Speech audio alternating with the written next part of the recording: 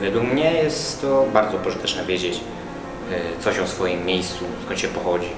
Warto znać historię swojej miejscowości, no bo jednak żyjemy tutaj, no i jest to według mnie odpowiednie. Gdybym chciał poznać historię miejsca, w którym mieszkam, myślę, że byłby to film.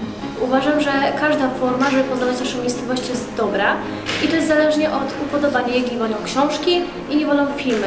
Wiedza na temat mojej miejscowości, którą sam posiadam, jest bardzo licha, bo nie wiem dużo na ten temat. Wiedza na temat miejsca, w którym mieszkam jest y, uboga. No a jeżeli miałabym możliwość na przykład oglądać jakiś film albo jak przeczytać jakiś artykuł, to no chętnie bym go przeczytała.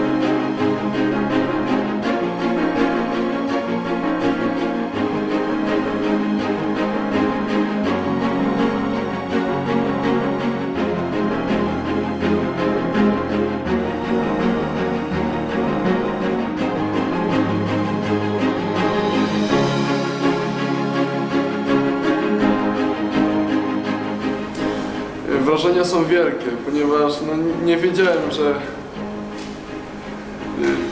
tokarnia jest, znaczy, jest tak długo, nie?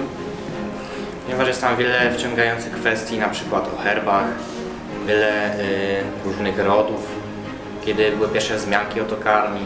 To jest naprawdę bardzo ciekawy dokument. Oczywiście myślę, że e, formy takiego przekazu są bardzo wartościowe.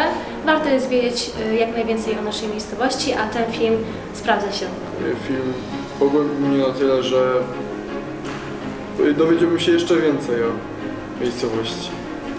Zainspirował mnie ten film. Na pewno po przyjściu do domu wezmę i oglądam go jeszcze raz dokładnie, a z niecierpliwością będę czekała na kolejny.